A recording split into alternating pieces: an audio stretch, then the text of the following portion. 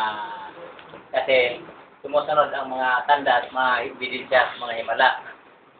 Ah, Si sinunod natin ay si, uh, si Brother Branham. Although si Brother Branham ay hindi Pilipino din. Siya ay taga Sabang Bats Bata niya. Amerika. Taga Amerika. Ah. Amerika. At hindi natin masyado pero alam ko na subaybayan niyo ang buhay niya. Kami wala kami alam niya sa buhay niya.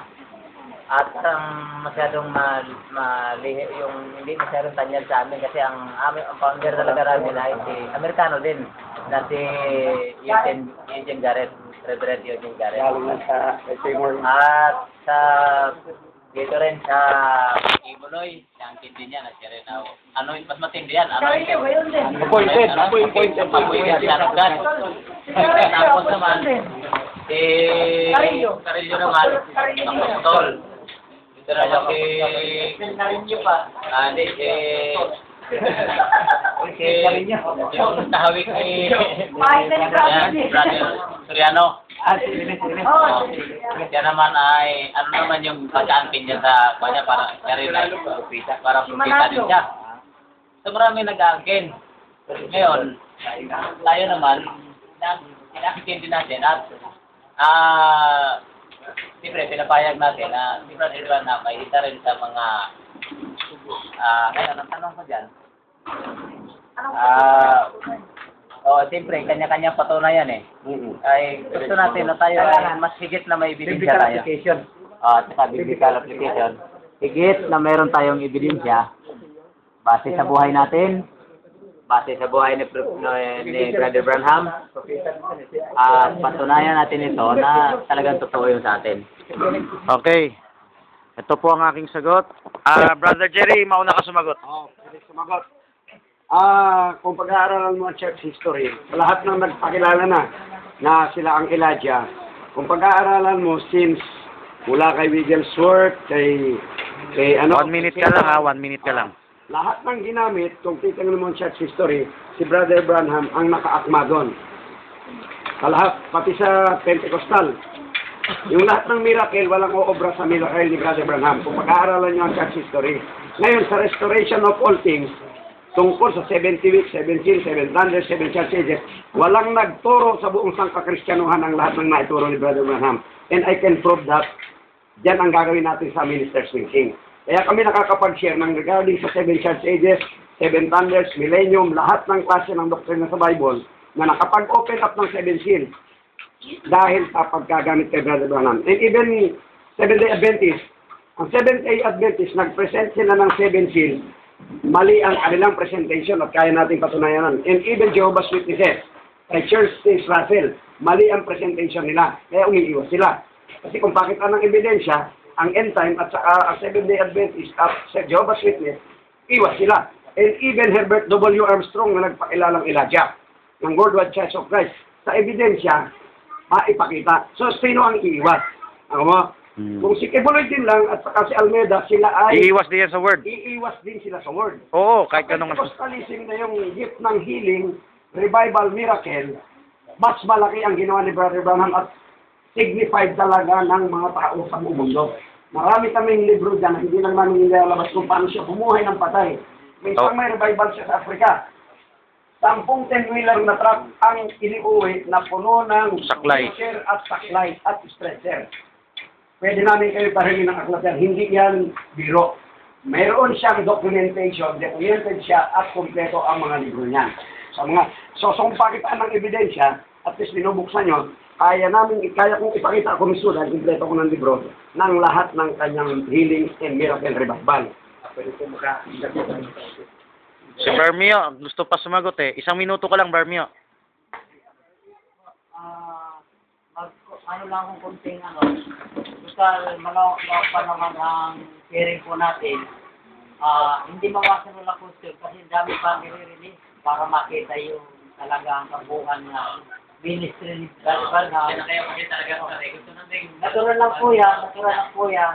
Kaya lang ang aming inihahain parang buto sa inyo kasi hindi pa nahimay. Di po ba? So yun Okay. yung medyo event na aantayin pa natin. Okay, Ngayon, okay. Ay, sandali lang. yung mga ilalatag namin dyan, mapapatunayan nyo ang advance revelation na saka kay Daddy Banham. Ipapakita namin yon yung may ebidensya. Kasi si Juan, pre- ah, siya ang inihanda ng Diyos para pagdating ni Jesus Christ. Ngayon, si Brother Branham din, siya ang inihanda ng second coming ni Jesus Christ. Yung kabuuan ng full five, uh, fivefold ministry na magagamit natin ngayon. Nagaling na tayo roon sa mensahe ni Brother Branham. Ngayon, iiral na sa atin ngayon yung fivefold ministry. Yun ang magpiperfect sa chart. Ah. Pero doon sa mga ginamit doon, hindi na si Brother Branham, may fivefold ministry gift doon. May apostol, may prophet, may evangelista, may guro, mayroong teacher. Ngayon, sa isang tao, alin ang malaki ito, apostol. Ito ang naghahawak sa lahat. Ito ang may control sa lahat. Ngayon, ikaw pwede maging apostol, pwede maging ah, Propeta. prophet, maging evangelista, pwede kang maging pastor. Opo, yun. pwede kang maging Guro. major, major, major, major. Okay. Major at saka minor. Tayo minor. Ngayon, ito gagana lahat yan, pero yung makataas yan, kasi evangelist tayo lahat. Oo. Para mag-disciple, mag-apostol, mag, mag-prophet, magbigay ng prophecy, pagkatapos mag-pastor, magturo. Okay. So, yun po yung sinasabi kanina na ah, yung fivefold ministry, doon lang, pero ngayon, umiiral yan. Dumaan lang kay Buddy Van na hanggang sa Okay, okay. Yun lang po yung... Okay, okay, okay. Yes, yes. Okay, okay. Yes, yes. Sa fivefold ministry. Ganon. Kaya, At ibig saka- sabihin sabihin, si kanya dumaan, hindi. Si Biblia dumaan, tapos doon siya nag-follow pattern para Yes. turo ang Okay, okay. I-revise ko lang ulit. Si, si Brother Branham, nangyari muna kay Christian Fivefold Ministry Gift. Isinalin sa apostol, isinalin naman doon sa hanggang kay Brother Branham. At sasali naman hanggang sa atin. So, wala ang problema ron. Pero the yung medyo... teaching, hindi Okay. mo makukuha na. Okay. Makukuha? Okay, okay.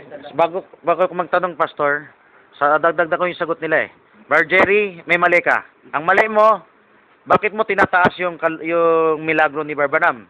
Kung milagro ang batayan, pwede ka maging bulaan. Ang batayan ng katotohanan ay yung salita.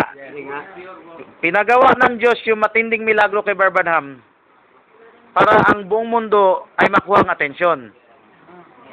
Okay? Hindi yan ang batayan para ikaw ay malakay 456. Bagamat masisiw yung milagro ni Bar, ah, ni Almeda, hindi milagro ang batayan na ikaw ay end time prophet.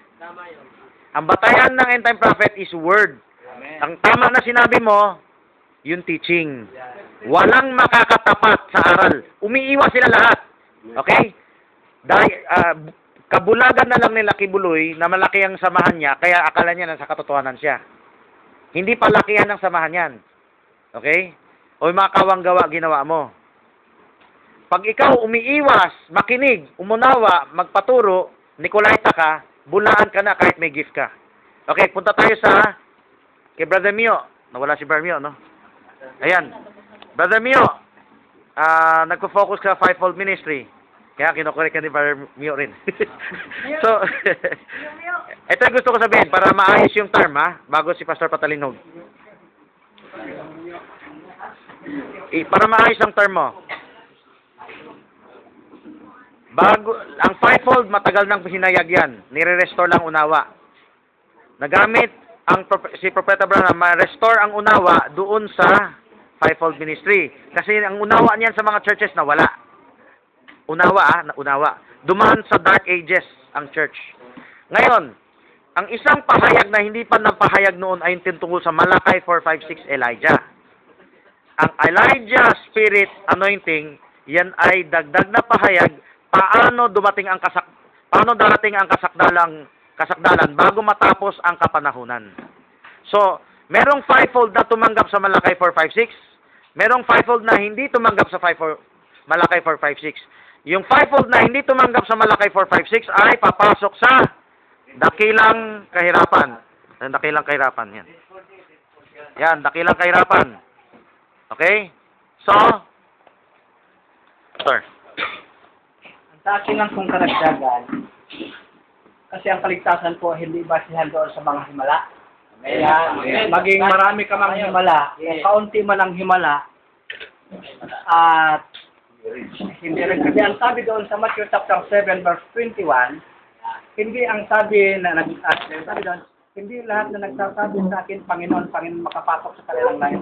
Yung gumagawa at sumusunod sa kalooban ng amin, amang nasa langit. Amen. Pagdating ng 22 to 23, Malamig. sabi doon, Ahawak. di ba, Panginoon, Ahawak. ah, Hindi malamig. nakagawa kami ng mga namala sa pangalan mo, napapagaling kami ng mga karamdaman sa pangalan mo, napapalayan kami ng mga espiritu sa pangalan mo. At hindi rin batihan yung magaling ka mangaral sa pamagitan ng Word of God. Ngunit, Walang laman. ng biblical application. Amen. Ang pinakamusli dito na maging ano tayo, yung biblical application. Kung ano man ang galing mo mangaral, kung hindi mo i-apply sa iyong buhay, hindi po maging uh, kalugod-lugod sa Panginoon. Kasi ang sabi doon sa Matthew chapter 7 verse 20, makikilala mo lamang sila sa pamagitan ng kanilang mga bunga. Sa pamagitan ng mga gawa. So, ang pinaka the best dito, mas maganda yung mala, malaman natin yung malalim ng mga turo sapagkat magkaroon tayo ng mabuting gawa para may i-apply ka ng magandang gawa. Amen. May, may dagdag po ako, no? Alam nyo, pwede ka walang masyadong alam sa Biblia, pero sa galing mo manalita, ma- hahanga yung tao sa'yo. Kumpara natin si Almeida sa si Kibuloy. Si Almeida, Bisaya, medyo mali-mali, no? Hindi ka marunong halos mga Oo. Nga, pero si Kibuloy, ano siya, aral na parang ano yung kung magsalita siya eh ano, may ano, may gift sa pananalita. Ngayon, si si Eli Soriano meron din 'yan. Alam mo, pwede ka magmandaya ng tao niyan. Dahil magaling ka magpaano ng tao, magpa-revive ng tao, no? Yung yung tao, hindi na nila ma-distinguish kung yung aral mo sa Biblia may laman o wala. Um, tama o mali. Okay? O, sige. Ah, sa atin kasi, Lighting, kailangan side view. Sa, sa atin kasi dito sa atin, ka, ah, word talaga ang pinapairal natin. Word. Ah, ano ang interpretation ng this? Sa kila Pastor Almeida man, iba naman. Ang kanila namang stand is for, for the kingdom of God is not in word but in power. Ay, oo, ma- maganda yan, maganda yan. Sabi dito sa, sa, sa Corinthian, di ba? Ah, sa atin word, wala power. Ah, kailangan mo, hindi natin pwede walain dalawa. Kailangan pagsamahin. Pero may sa atin word ang stand, sa kanila naman power. Ah, pero biblical yung meron silang biblical ano naman ang sa atin. Okay, Na pwede sasagutin ko yan, ha? natin Doon at ano ang interpretasyon natin dito sa verse. Okay, buksan niyo yung Biblia niyo sa unang Korinto 2. Sinabihan na ako niyan eh. Alam niyo, kausap ko si Edgar, kung kilala niyo yung Edgar doon na sabi niya, NPA siya dati. Ano pa Edgar ano yan? Arisgado. Kausap ko yan. Doon sa may ano, Amoranto. Testimony ko muna, gusto ko siya i-vulgar. sa YouTube. Sabi niya, sabi niya sa akin, Brad, huwag mo ko sharean yan. Tapos kinote niya yung unang Korinto 2.4. It is not in uh, it's not in enticing words of man's wisdom, but in demonstration of power. Brad, uminom tayo ng lason. Tignan natin sino mamamatay sa atin. okay. Gusto niya kapangyarihan eh. Ay ginagamit yung Muslim eh. Yung Muslim, sa debate, naniniwala ka ba word of God yan? O sige, ito ang asido, inumin mo. Tapos tawa, yung mga tao, naghihiyawan, inom ba? Inom, inom, inom. Okay. Pero gusto ko lang magsingit. Ito paminsan-minsan, Diyos nang milagro eh. Sa panahon ni Barbanam, si Roy Davis, yung pastor ni Barbanam, eh, may Pentecostal revival no? may, naninira sa Word of God. Totoo ba to? Hindi. May nilagay rin asido. Si Roy Davis, biglang ininom mo. eh, hindi siya namatay. Nagmilagro pansamantala. Pero wag nyo gagawin yan, ha? Hindi pinapagawa yan. Kasi parang magkakaroon. Kasi yung power na yan, hindi yan ang interpretasyon dyan. Patutunayan ko sa inyo, buksan nyo yung unang Korinto 2, 4. Ang power na yan, babasahin nyo tuloy-tuloy yung talata, ay power of the word for salvation. Kasi yung power na tinutukoy mo palabas na mga milagro na yan, hindi nakakaligtas yan. Basahin nyo muna ang Roma 1.16. Buksan nyo. Sabi sa Roma 1.16, at kung may Bible, gusto ko kunan dito. Sino malaki ang titik? Roma 1.16, sabi dito sa Roma 1.16, malabo pa rin. Magbasa ka na lang. Ikaw magbasa. Diyos, ay kaliligtas ng bawat sumasampalataya. Unay sa Hudyo at gayon din sa Greek. Ituloy po sa, Ito'y kapangyarihan ng Diyos sa pagliligtas. Ano ang kapangyarihan ng Diyos sa pagliligtas? Ang Ebanghelyo, ang Word of God. Ngayon, punta tayo sa Korinto 2.4. Basahin natin ng pababa. Okay? Sa 2.5, 2.6. Basa. Upang, ang- upang, upang ang inyong, Kaagaw kayo eh. Teka, ma, ma- itim ang itsura mo sa liwanag. Gusto ko si Jerry maliwanag. Hindi, ang background mo pa rin araw, kailan nandun ka eh. upang ang inyong pananampalataya ay huwag masalig sa karunungan ng mga tao, kundi sa kapangyarihan ng Diyos. Ngayon man, ay nangagsalita kami ng karunungan sa mga may gulang. Makinig! Bagaman- Nagsalita kami ng karunungan. sa may mga gulang. Bagaman hindi na karunungan ng sanglibutang ito o ng mga may kapangyarihan sa sanglibutang ito. Stop! Ang karunungan ng sanlibutan nito, yan yung sinabi ko kanina, si Kibuloy, bagamat hindi malalim ang aral, pero kaya niyang paikutin yung tao sa ganda ng pananalita. Yan ang enticing words of man's wisdom. May sinabi pa siya eh, kapangyarihan ng sanglibutang ito. Okay?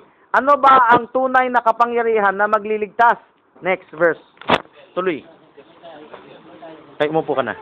Nawala. ah. Nawala, six. Gayon may Teka, teka, humarap. Tumalikad ko muna. karunungan sa may gulang, baka man hindi ng karunungan ng sanlibutan ito o ng mga may kapangyarihan sa sanlibutan ito na ang mga ito ay nangaoy sa Sundan nyo, wala. siete, siete. Siete, kundi sinasalita namin ang karunungan ng Diyos ay waga. Yung karunungan na itinalaga ng Diyos bago nila ang sanglibutan sa ikakaluwalhati natin. Bago, bago may tuloy. 1.24. 24. Sundan nyo, sundan nyo, maganda. Korinto. Unang, Ngunit sa kanila ng mga tinawag, maging mga Hudyo at mga Griego, si Kristo ang kapangyarihan ng Diyos at ng karunungan ng Diyos. itong kapangyarihan ay hindi kapangyarihan palampalabas. Itong kapangyarihan ng karunungan ng Diyos, kaligtasan to. 30. Renta, Ngunit sa atin. Sapagkat sa kanya kayo ay nangasa kay Kristo Jesus na sa atin ay ginawang karunungan mula sa Diyos, sa katwiran, sa kabanalan, at katubusan. 8. Balik sa 2.8. Diyos 8 na hindi napagkilala ng sinumang pinuno sa sanlibutan ito sapagkat kung nakilala sana nila ang ay dising di pinako sa cross ang Panginoon ng kaluwalhatian. Tuloy, tuloy ng Ay, 13. datapat gaya ng nasusulat ang mga bagay na hindi nakita ng mata at ni narinig ng tainga, ni hindi pumasok sa puso ng tao. Anumang mga bagay na inihanda ng Diyos sa kanila na nangagsisiibig sa Kanya. Then, Stop. Yan, yan ba ay ah, palabas ng, kap, ng milagrong kapangyarihan o yan ay aral? Aral yan. Hiwaga ng Diyos yan eh. Nandun ang tunay na kapangyarihan. Hindi ka humahabol sa padlabas na parang ano, mahika, kundi yung pahayag na tatanggap mo mula sa salita ng Diyos sa puso mo. Tuloy, 10. verse 10, Ngunit ang mga ito ay ipinahayag sa atin ng Diyos sa pamamagitan ng Espiritu. Pero kaya kapangyarihan ng Espiritu.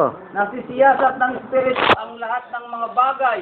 Oo, ang malalalim na mga bagay ng Diyos. 11. Sapagkat sino sa mga tao ang nakakakilala ng mga bagay ng tao, kundi ang Espiritu ng tao na nasa kaniya. Gayon din naman ang mga bagay ng Diyos ay hindi nakikilala ng sino man, maliban na ng Espiritu ng Diyos. Tuloy, 3. Dose, ngunit ating tinanggap hindi ang Espiritu ng sanlibutan, kundi ang Espiritu mula sa Diyos. Oh, itong Espiritu nagbibigay pahayag. Tuloy.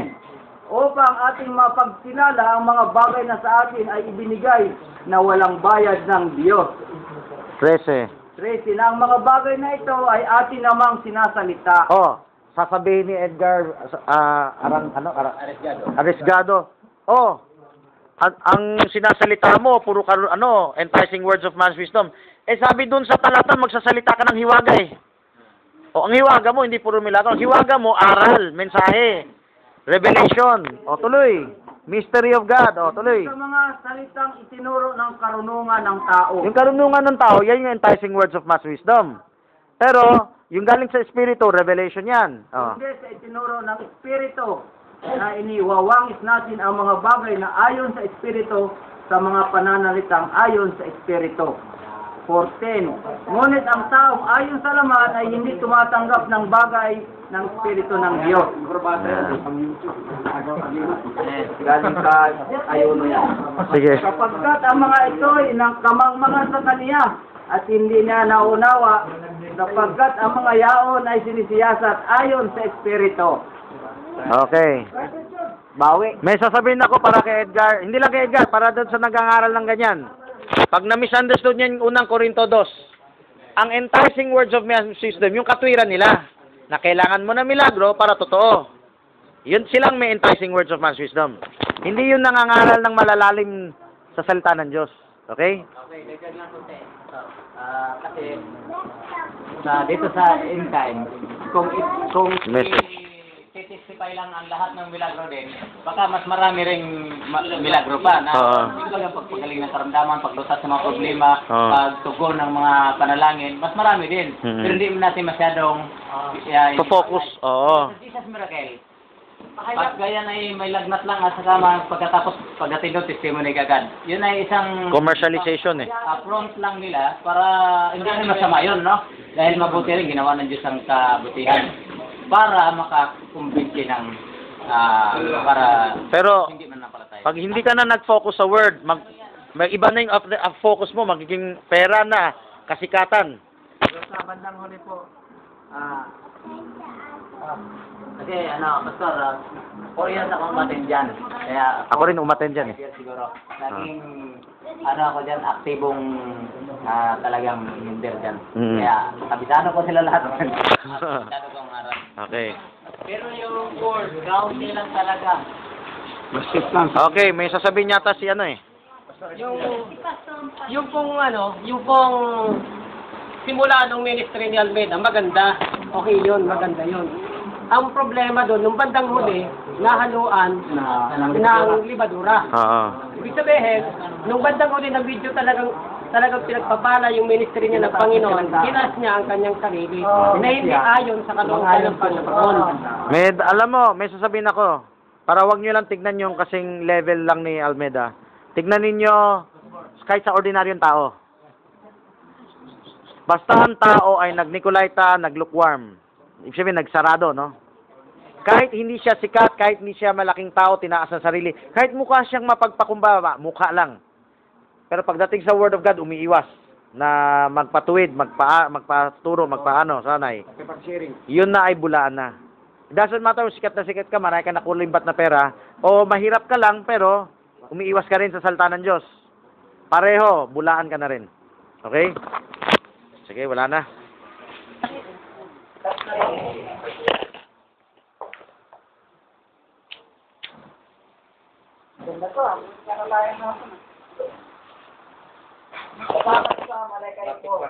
Maganda na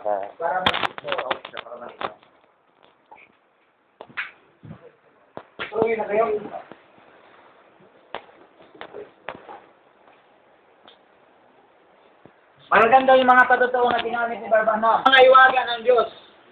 Una, nung ipinayag ni Brother Branham, in-expose niya yung Seven Church Age.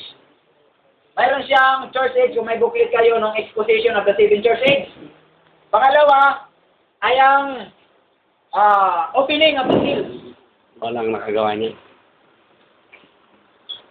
Sino mga propeta na ginamit upang Lagyan siya buksan yung ikapitong silyo? Pitong yung silyo. pitong silyo. Yung seven seals sa Revelation chapter 6. No? Walang ibang propeta na ginamit upang bigyan o buksan ang opening of the seals. Yung pagbubukas Nasaan ng ka silyo. Sino nakapagbukas? Si Barbanam. Noong binubuksan ni Barbanam yung, yung, yung ministry niya sa sangat hatak, ito yung pinakahuling hatak. No, itong revealing the word. Lahat ng mga sumusunod sa kanya, kung paano nangyari sa ating Panginoon Kristo, na umabot sila ng 700, umabot ng 120, 3,000, 5,000, hanggang ang natira ay 70 na lang, Mula sa 17, du- lumiit pa hanggang naging 12 na lang, wala na. Doon sa paghayag ng ating Panginoon Kristo, labindalawa na lang. Yung labindalawa, nabawasan pa ng isa. nabawasan, da- labindalawa na nga lang, nabawasan pa ng isa. Ganon din sa time ni Barbanam. Maraming sumusunod sa kanya, maraming umahangat sa kanya, dito sa dalawa, pero, nung hinayag ni Barbanam yung revealing the word, maraming nagsialisan sa kanya. Wala na. Bakit? Ang habol nila, yung discerning lang at saka yung healing.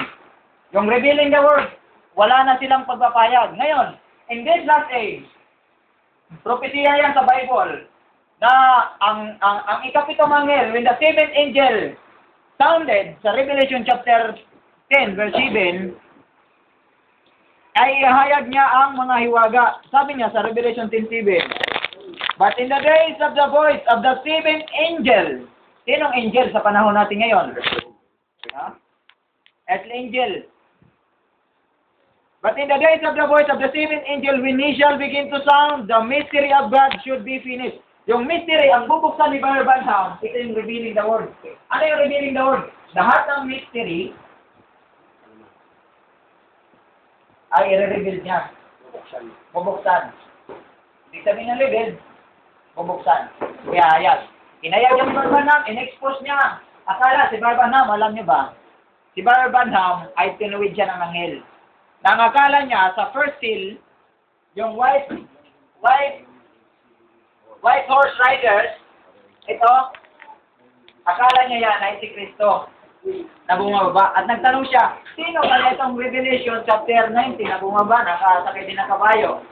Ah, ang pagkaalam niya, na itong opinion, yung first seal, which is the white horse riders, ay yun ay si Kristo. Pero hindi pala.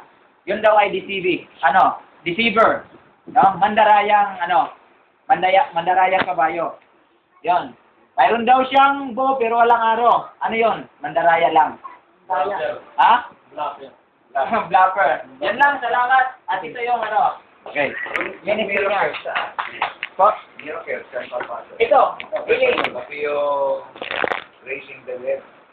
Healing. Ah, pero dito ha, ako talagang naano ako dahil maraming nag-witness sa kanya.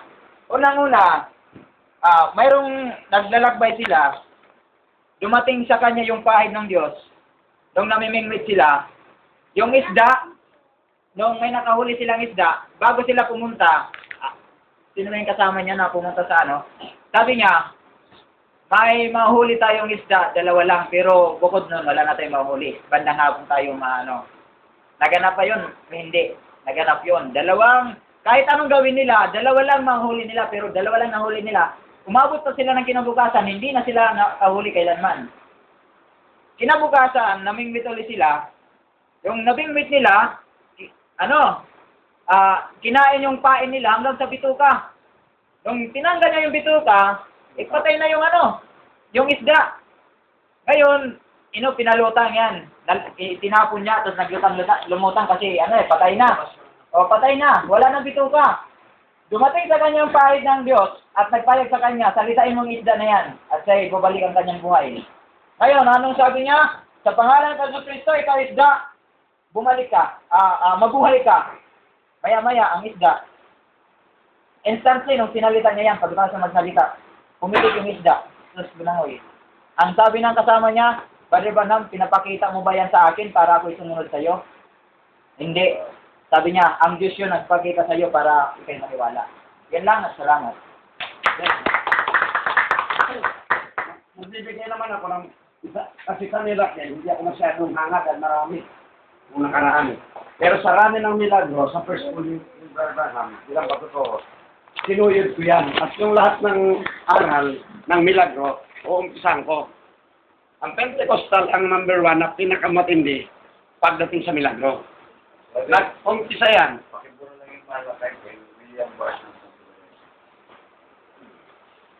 Bago pa Lagayan na natin. Kaya, ano?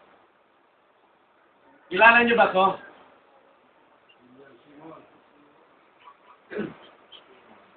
Kilala niyo yan? Kilala niyo? Sino nakakakilala nito? Ang tunay na Pentecostal, kilala ito. Ito ang father of Pentecostalism. Pag Pentecostal kayo, dapat alam nyo, ako hindi ako Pentecostal, pero sinaliksik ko yan. Binalikan ko ang araw ng Pentecostal to prove kung totoo. Ito ay isang negro, nag-umpisa ito ng 1906 sa Azusa Street, ang Pentecostalism. Yan yung tinatawag na latter rain. Latter rain.